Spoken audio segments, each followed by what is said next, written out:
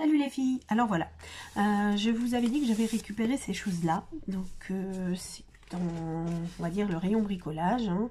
Voilà, et c'est quelque chose d'autocollant comme ceci. Voilà, épais et mou, très mou. Donc, quelques petites astuces pour l'utiliser. Alors tout simplement en découpant un petit morceau, voilà, comme ceci. Hop là. Ça peut simplement vous, vous hein.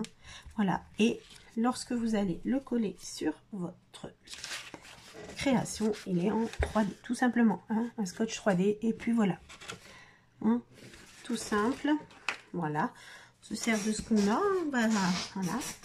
Et une autre petite idée, euh, on va le coller directement, on va coller directement une bande et on va faire des découpes tout de suite dessus. Moi, euh, voilà, j'ai utilisé ce, papier qui me, il est très beau, mais à utiliser, je n'y arrivais pas. Et du coup, on m'a proposé plein de petits choix, merci les copinettes. Et dedans, euh, on me disait de découper pour faire ceci, cela. J'ai ah, bah oui, très bonne idée en fait. Rapetissons les choses et utilisons ce papier dans des petites proportions. Et là, m'est venue l'idée de, waouh, super, de découper ceci en fait. Voilà, à la taille de votre taille. Moi, je vais faire, j'ai ce taille-là, couture. Donc du coup, ça fera un bouton qui déjà normalement doit être épais. Enfin, un bouton pour essayer de coller euh, au vrai bouton.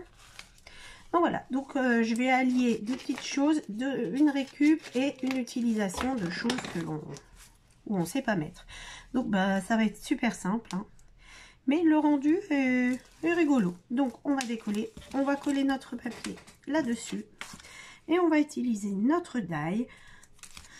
Alors moi j'utilise ça parce que j'ai ça et que je trouve ça rigolo. Vous avez, euh, vous faites comme vous voulez, ce que vous voulez, avec quel die en fait, à vous d'inventer. Là, je vais découper pour pas que ça colle sur ma plaque.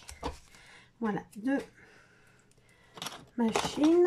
Voilà, et tout simplement, on va le mettre dans notre sandwich et découper. Hein on va faire ça ensemble. Et on découpe.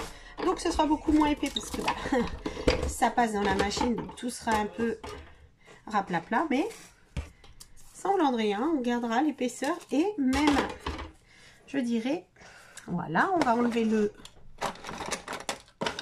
le les petits ronds là et on va décoller notre résultat. Alors, vous allez, j'espère que vous allez voir. Donc voilà, nous avons donc notre papier avec notre bouton. Les petites choses veulent s'en aller. On les enlèvera après, c'est pas grave. Voilà et l'autre aussi. Voilà, on va voir notre bouton. Voilà, donc on a notre bouton hein, à die et voilà, il est un peu en épaisseur. Alors, attention, il passe en machine, il est beaucoup moins épais que l'autre. Hein, bien sûr, mais ça peut faire. Et surtout, on va voir que même l'autre côté, en fait, on peut s'en servir ici avec ce côté-là, qui peut faire aussi super sympa. Alors, voilà, et la texture, en fait, euh, la texture euh, fait, je pensais à du tissu également. Donc, ça peut être très, très sympa. Voilà. Ici, je vous en ai fait quelques-uns. Voilà. Bon, comme ceci, voilà.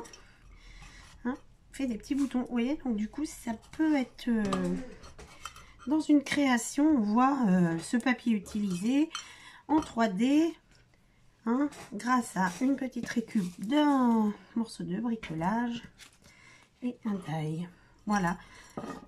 Donc maintenant, ben voilà, vous de jouer hein, avec cette petite idée d'utilisation de ceci. Après, vous n'avez pas, vous inventez hein, autre chose. Hein. Après, vous avez du scotch 3D que vous achetez, vous pouvez prendre ce principe-là, mais bon, le but étant d'utiliser des autres choses.